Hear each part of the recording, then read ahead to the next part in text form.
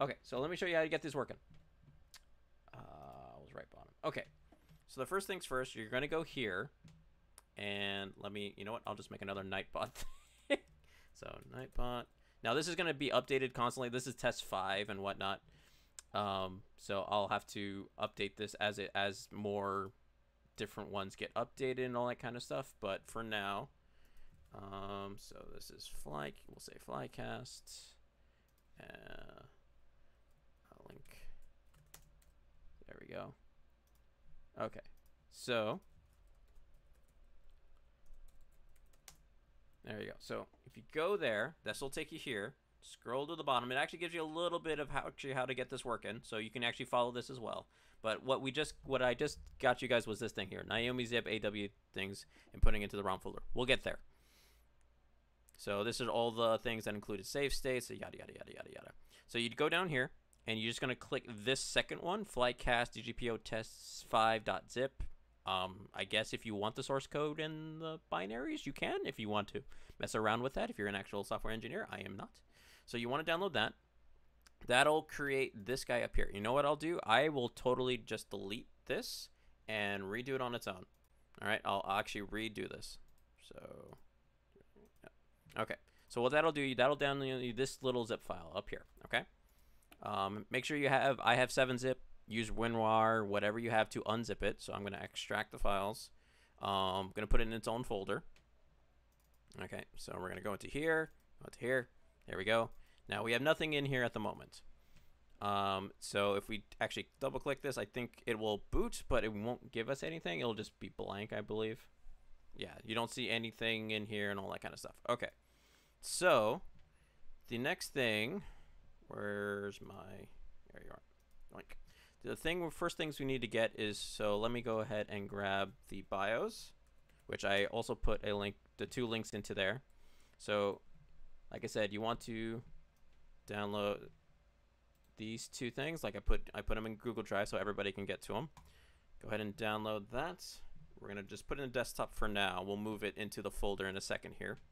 Same with the Atomiswave BIOS. Just gonna save it to desktop for now. Okay, so those are saved.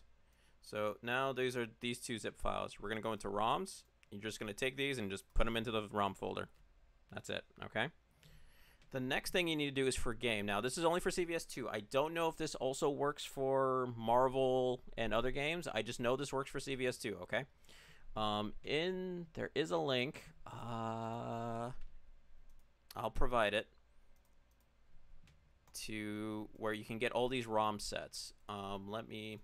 Do I actually have that in my Nightbot? I might not. I might not. What the hell is going on? Why can't I? What? Oh, that's why. I'm stupid. Because I can't actually can't roll that. Um, why can't I? I can't scroll that. There's, but I can't see the bottom. What the fuck? Stupid thing. Anyways, um, I don't think I have. Why can't I click on these? There we go. That was weird. Couldn't interact with my Nightbot for a quick second there. Um, all right, I'll add another command as well. ROM set link. Okay. So another link. Sorry. so. Okay. So this will take you to that. That will take you to here. And then what you need to do is you need to go to here, you need to click on CVS2, and then you need to download this CHD. So it's gdl008.chd. Go ahead and download that. We're going to just put it to the desktop for now. You can put it wherever you like. Just remember where you put it. And then you're going to go back up to the parent directory. You're going to scroll down, and then you're also going to download cvs2.zip. And again, I'm just going to do it to desktop just for now it's not that big important as long as you know where it is. So with the CVS2 zip, that we can just throw in. What we're going to need to do is going to then also create a new folder, call it CVS2, and then basically once this thing is done downloading this CHD file, we're going to throw it into that folder. And that's it. But I'll show you that in a second. And I'll show you controls and all that kind of stuff and whatnot in just one second here. Do, do, do, do, do.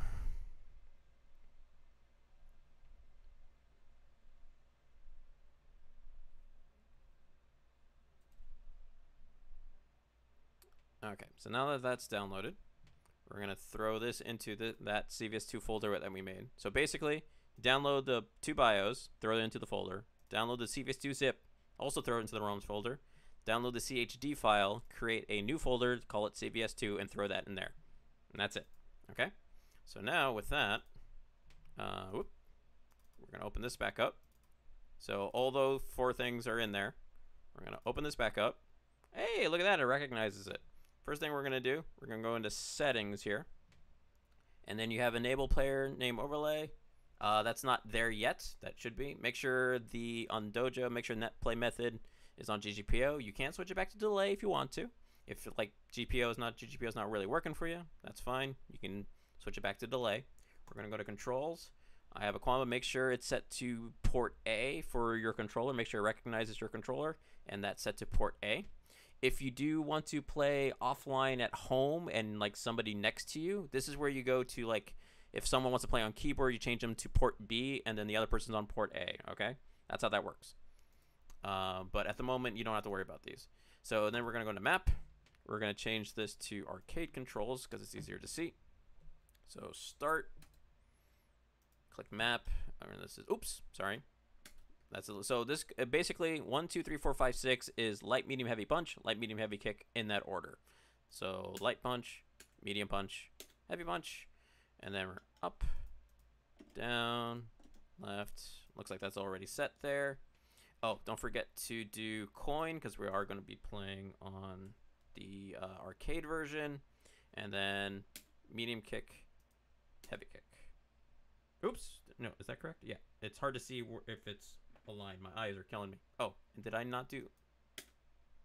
There it is. Okay, and then this is light kick up here. So light, mean light punch, medium punch, heavy punch, light kick, medium kick, heavy kick. Okay, I think there might be a difference for certain sticks depending on what your heavy punch is, like what your RB actually uh, goes to. You might need to use like button five or six over here because it, it, it counts it as in like an analog. So just be aware if for some reason like your heavy button's not working, try one of the, uh, changing it to the button on this side, over on this side. Okay. Uh, make sure to click done. Uh, is there no save? I guess there's, no, and then just make sure you click done. So we're going to just text it offline real quick to make sure button work.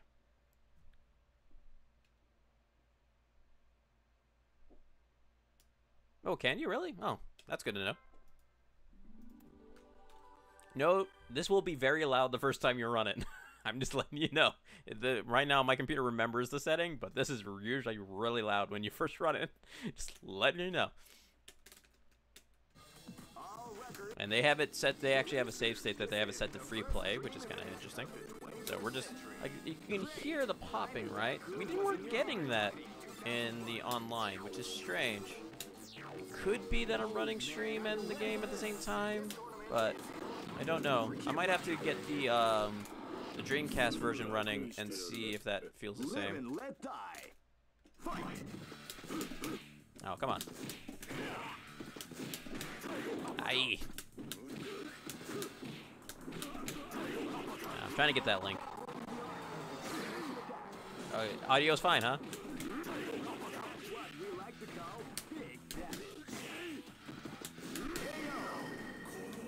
So anyway, so that gets it running. Okay. So that's just make sure you check buttons. Looks like looks like my. Let me double check the other buttons, but the button should be fine. This is gonna be a match to remember. Okay, everything's good. Okay, so that's that. The next thing is when you want to play online, you click host if you want to host, and then you double click the game again, and then this will do its thing and then it will give you this match code. Now you don't need Radmin open. I we just tested it with B Ninja, who's in the chat right now. You don't need Radmin. You don't need anything. But probably if you're not connecting with someone, maybe do maybe be in the same Radmin. Maybe I don't know. But this will create a match code. You can copy and then paste that, and someone connects to it. Okay, and that's basically it. The next thing that we'll see, um, hey Bing Ninja, can you um go ahead and join me real quick, um, just so I can show off what this shows. I'll probably just post this straight to YouTube as a quick as a quick thing.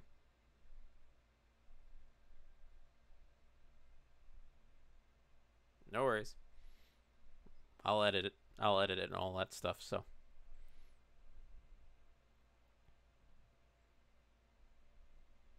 And if this is on YouTube, all the links will be in the description, by the way. Hi, YouTube.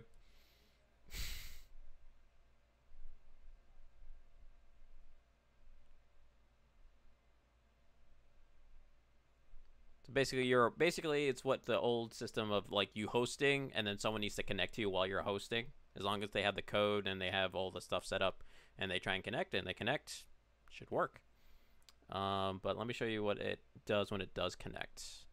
I think on the opposite. Okay, so there you go. So this is so somebody's connected to you. Now, for me, I would suggest probably putting at least some sort of delay in there. We know how rollback works, right? You have a little bit of delay that kind of has a little bit of buffer so that way it can try and catch the inputs. But obviously, you can put delay zero if you want to. Obviously, these kind of games run really fast, so they're not really designed for delay base for rollback netcode. Um, we did 80 ping, uh, what you guys just saw, um, and um, so I'll show. Actually, I'll just show you what it looks like. So, and it looks like they go straight to. Oh, I get. I maybe he thought maybe he just connected and uh and exited out. But anyways, you saw it started, but I think he he just exited out. But anyways, so that's what you do. I suggest um doing to one. If you need to do more, you might need to do more delay depending how far someone is. We know how that works. Um, but obviously, the farther someone is, the more kind of skipping and popping you'll get um, because it's trying to catch up and all that kind of jazz. So um, I'm currently going to try doing one for now with like everybody and see kind of what that looks like. Um, just because I'm trying to keep the input simple and all that kind of stuff. But yeah, it's that simple. Um, currently right now, um, uh, like I said, it's not implemented into Fightcade 2 yet, where you can just go into Fightcade, challenge somebody, and this stuff will pop up.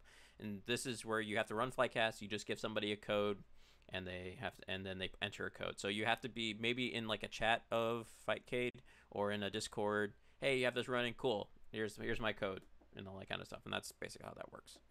Um, but yeah. So that's that.